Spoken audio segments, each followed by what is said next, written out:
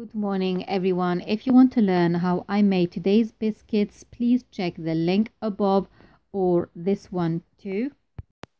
I wanted to make biscuits with um, natural homemade dye, hence I used the beetroot juice.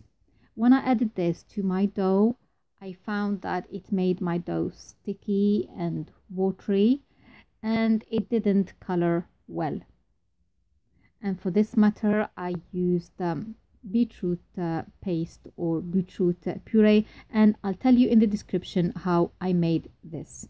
And this gave me good results. So to my dough my dough turned uh, uh red. And I also had a plain dough. I put the red dough on top of the plain one after rolling them both out. And then with the help of a plastic cover or a plastic um, uh, plastic sheet or cling film I was rolling this dough as shown. And don't worry if it cracks you can smooth it out. And I learned from making this that I should have used um, I should have used gloves when uh, handling uh, beetroot. So um, we roll this until we get to the end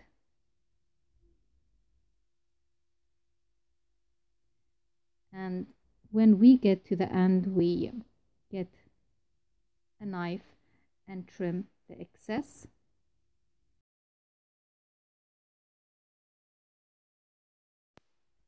And with these extra bits I made a nice flower which you will see uh, at the corner. There it is.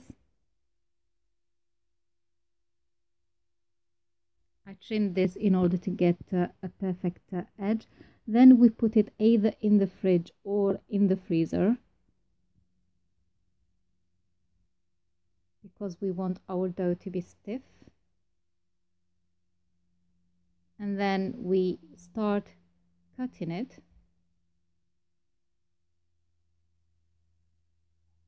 Like so. And then we need to perfect all the edges.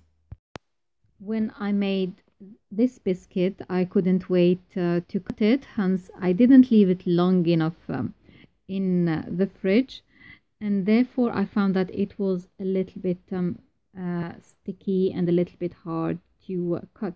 So I decided to put it back uh, put it back in the fridge and look how perfect uh, it is this time. And um, there's another one so if it's not easy to cut then we need to put it back in the fridge or the freezer.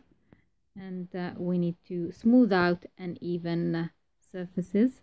Like so then we need to put it on a baking tray without any butter or any flour because these biscuits have uh, butter cook them on gas mark 580 degrees for 10 to 15 minutes. Leaving plenty of gaps.